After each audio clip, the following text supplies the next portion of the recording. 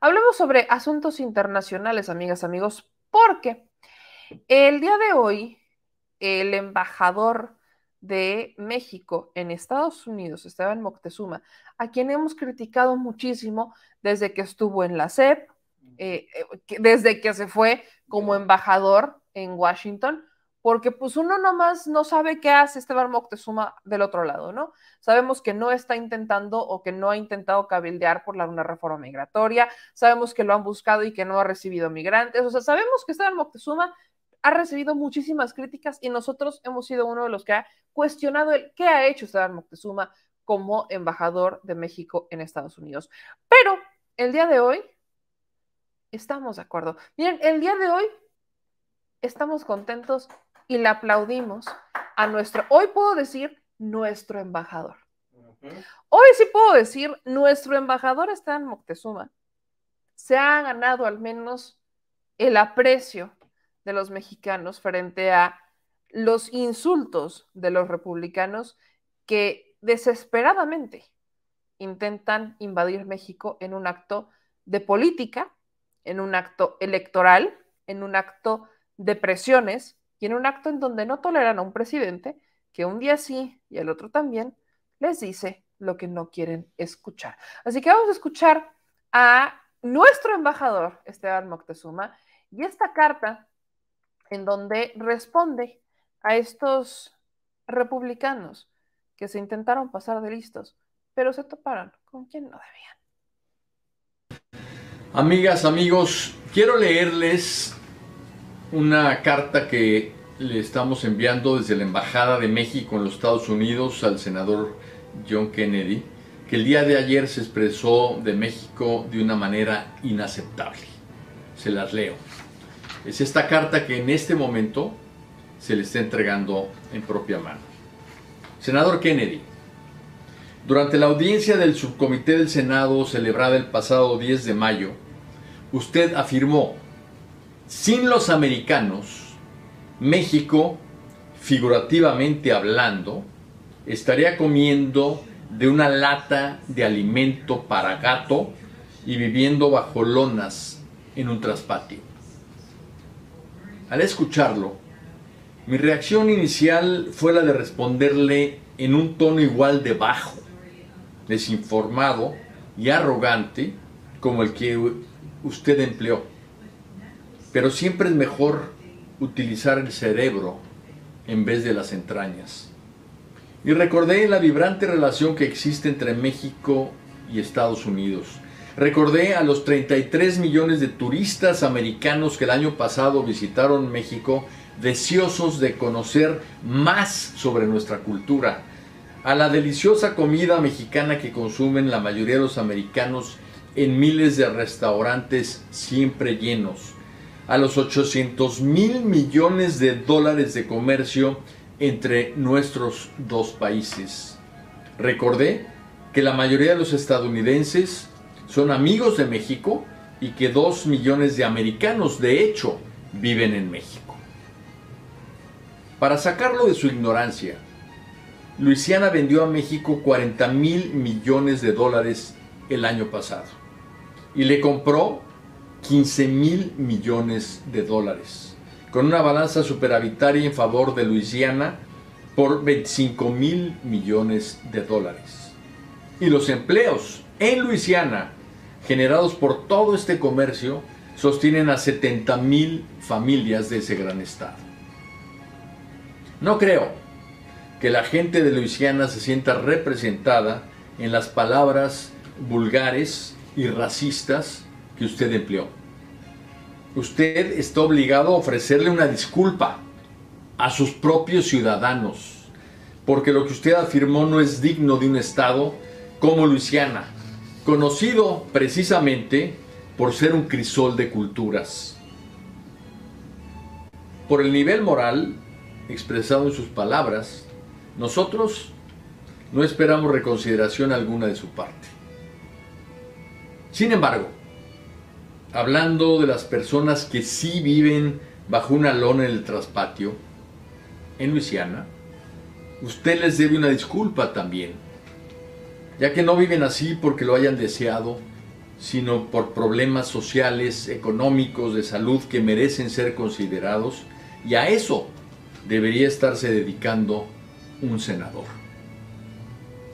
No obstante, en México nos quedamos con la imagen de una Luisiana admirada en el mundo, precisamente por su convivencia en la diversidad, que solo se logra con generosidad, inclusión y corazón.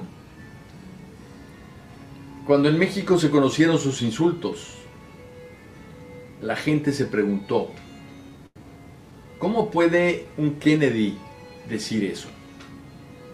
Ya que la imagen del presidente John F. Kennedy es un faro que alumbra el camino de la libertad, la democracia y la inclusión.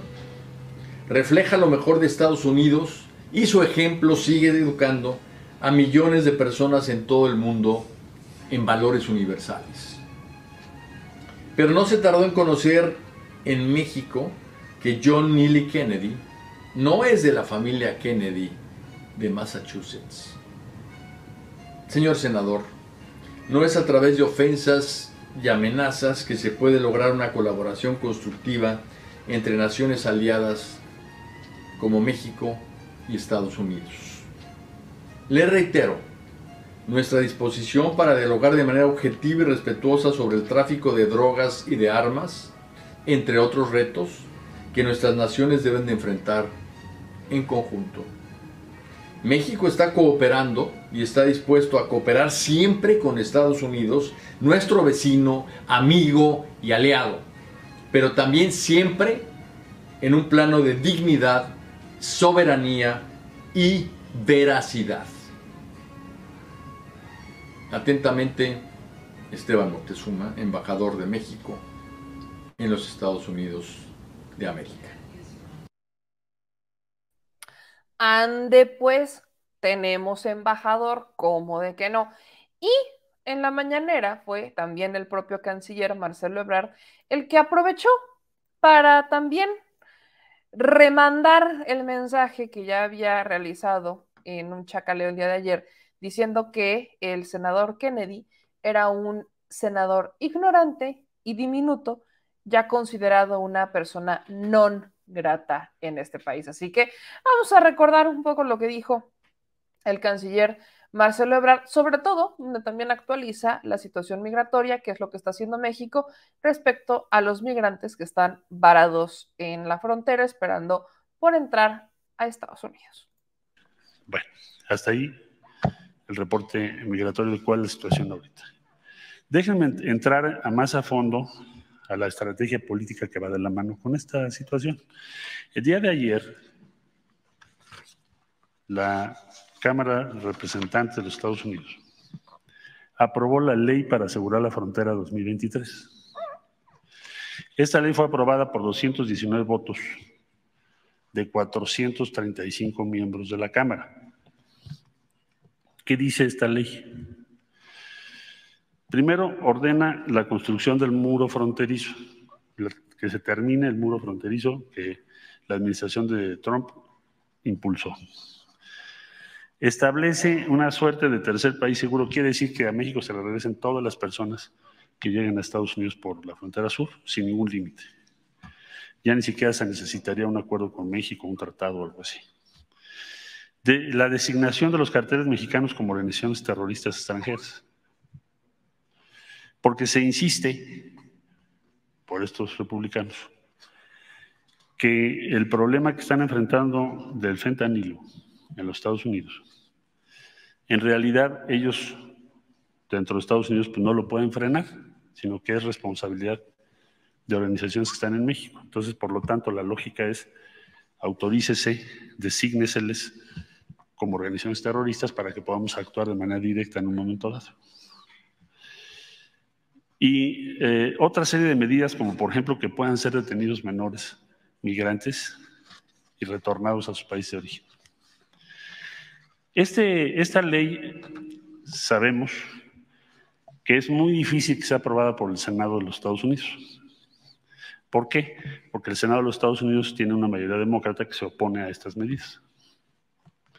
Sin embargo, se preguntarán ustedes, bueno, si se sabe que no va a prosperar, entonces, ¿por qué se aprobó el mismo día que vencía el título 42? ¿Por qué? ¿Por qué el mismo día? Si ya lo sabes que no va a prosperar. Para sacarle raja política.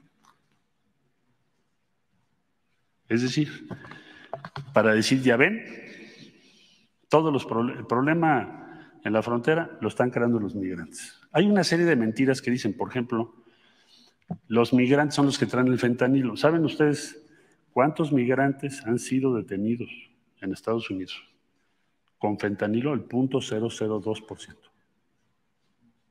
¿Quién ha sido detenido en la frontera con fentanilo? Ciudadanos norteamericanos, 86%. Es falso. Los migrantes no llevan fentanilo ni lo consumen. Pero en fin, hay una serie de mentiras que manejan. Desde luego debo decir que los eh, planteamientos son inaceptables para México. México nunca los aceptaría. Se provocaría una crisis entre los dos socios principales. Estados Unidos es el principal mercado del mundo y México es el principal socio de Estados Unidos. Sería como si nos pusiéramos a darnos un tiro en el pie entre los dos. Vamos a decir, es absurdo. Ah, pero esto está organizado porque el año que entra hay elecciones. Entonces, ¿qué es el cemento de estas ideas que promueven quienes creen en esto? ¿Cuál es el cemento? El racismo contra los mexicanos y en general todos los hispanoparlantes. No hay otro, es lo que se ve como el fundamento. Entonces nosotros desde luego rechazamos eso. Pero es importante para la opinión pública aclarar de qué se trata. Sacarle raja política, aprovechar el flujo migratorio, culpar a México, preparando su campaña político-electoral, porque el único cemento hoy de ese partido es el racismo, por lo que se ve en esta iniciativa de ley, cuando menos de quienes la promovieron. ¿Quién la presentó? Pues el representante Mario Díaz Balart, de Florida muy conocido en Estados Unidos por ser sobrino de la primera esposa de Fidel Castro. No sé si ustedes tengan ese antecedente. Con posiciones muy de ultraderecha y muy en favor de las armas, por ejemplo, que no se limitan la venta de armas, y otras posiciones de esa naturaleza. Bien, eh, en, la misma, en esta misma tendencia son las declaraciones ayer del senador Kennedy. No sé si las tengamos ahí. las pueden poner, por favor. Lopez Obrador invited the American military and our law enforcement personnel to come into Mexico and work with his, we could stop the cartels, couldn't we? I believe, Senator, that we can stop the cartels. Okay. Have you made that suggestion to President Biden? If I could, I believe that we can stop the cartels by. Have you made that suggestion to President Biden? Senator, I have been very vocal in the whole of government setting on the importance of fentanyl and all of us using every single effort and authority that we Why have. hasn't President Biden done it? I mean, th- this is the way the American people whose sons and daughters are dying look at it. Our economy is $23 trillion. Mexico's economy is $1.3 trillion. Ours is 18 times bigger. We buy $400 billion every year from Mexico.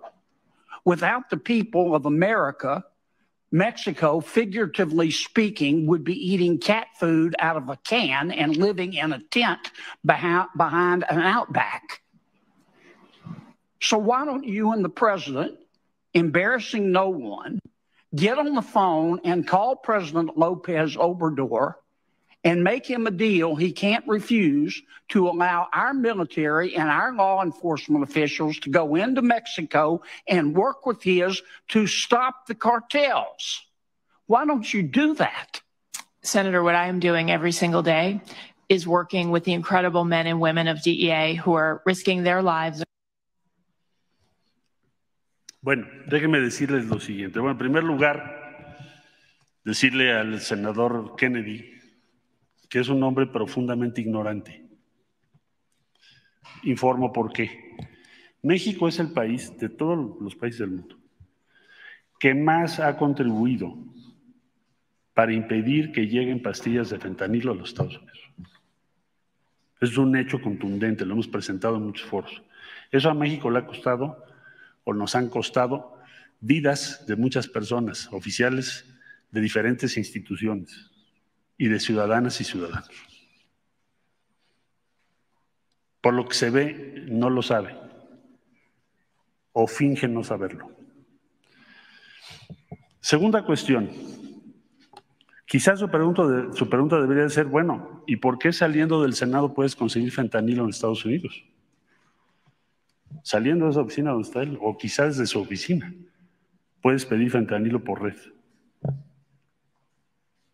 O sea, es falaz el argumento de mandar una fuerza a, México cuando en Estados Unidos tienes fentanilo circulando por todos lados.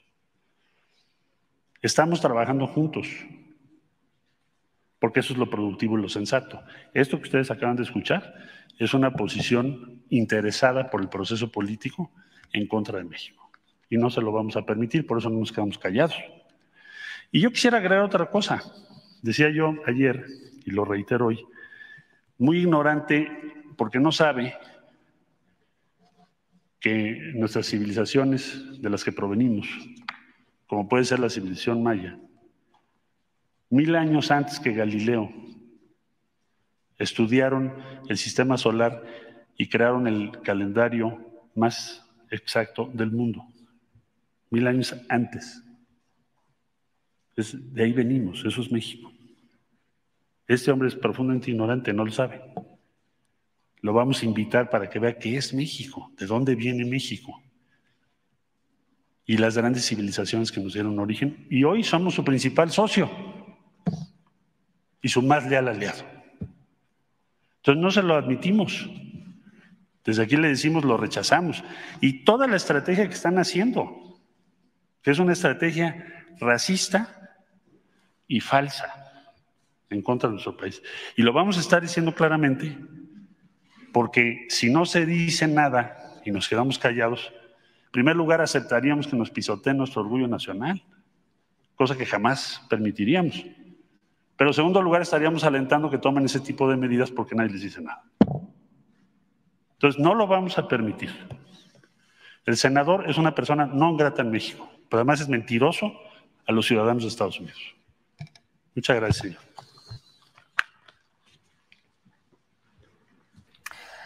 Ahí está tanto la respuesta del embajador de México en Estados Unidos como del secretario de Relaciones Exteriores. Yo solo quiero hacer una comparativa. ¿se imaginan que esto hubiera pasado con nuestro pasante favorito como secretario de Relaciones Exteriores, es decir, Luis Videgaray? ¿Se imaginan, se imaginan si Peña, nuestro oh, Supremo Tlatoani de copetote alto, le hubiera tocado esto? Es que nos tocó, que es lo peor del caso. nos tocó con Trump. es que eso voy, nos tocó con Trump. ¿Y cuál fue la respuesta del presidente entonces y de su pues patiño, o a veces creo que el patiño era Peña Nieto y el que mandaba era Luis Videgaray, siempre he creído eso. ¿Se imaginan que hubiera pasado? Pues no hubiera dado clases allá. Es correcto, señor productor. Qué buena respuesta. Pues justamente lo que pasó es que no pasó nada. Y de ahí el que tengamos a un Luis Videgaray dando clases en un MIT. Y que por cierto, ¿saben? A quien apenas vi en redes sociales muy activo que no me había metido. A Nuño, al que no sabe leer. Ajá, al exsecretario de Educación Pública de Peña Nieto. ¿Saben dónde da también incluso y clases y así? creo que es en la Universidad de Columbia, en Estados Unidos. Ahí la razón del por qué nunca vimos que esto pasara en administraciones pasadas. Porque los que tuvieron que defendernos antes son los empleados de la hora de Estados Unidos. Ya lo eran desde entonces. Imagínense cómo, cómo se hubiera visto en el currículum de Luis Videgaray o de Nuño, crítico de los republicanos o crítico del expresidente Trump. se la refrescamos elegantemente, le dimos duro cuando nos insultó. ¿Se imaginan eso? nunca, no pasó. No los hubieran aceptado, pero ni de broma. para dar clases en universidades siquiera acercarse a dar una ponencia en Estados Unidos, en, en ciertas universidades de la famosa Ivy League, porque ¿cómo usted va a creer? Ahí es una de estas, esta es una de las grandes diferencias que van a encontrar en esta administración, porque indudablemente, indudablemente, si hoy algo entendemos, es que hay soberanía y que aquí hay mucho pueblo para defender su tierra.